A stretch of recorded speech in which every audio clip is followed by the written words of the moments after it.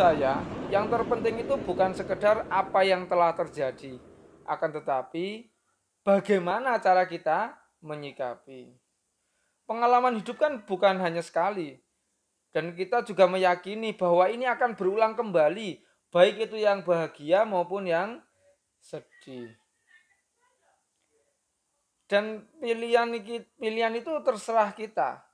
Mana kenangan yang ingin kita putar kembali, yang terpenting adalah mana yang bisa menunjang untuk mengejar mimpi.